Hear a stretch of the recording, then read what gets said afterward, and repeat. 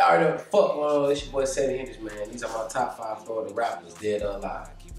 Rick Ross, because he be teaching well. Was the first nigga to really represent Florida. He represented for Dade like a motherfucker, but Miami, from Florida. Plies, I grew up on Plies. That was like my next closest thing. You feel me? I felt Florida Boosie. He was our Florida Boosie. T-Pain, because, you know, T-Pain was the melody, the creative side. He showed people that it was another side of Florida. He kept the goals, kept the, the dreads, you feel me? But still showed everybody that, you feel me?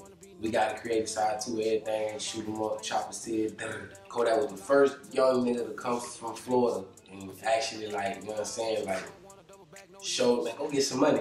Niggas been wanting to go get some money if you have OGs and niggas around you, you whatever the case may be, or you broke. And me, Y'all gotta stay tuned.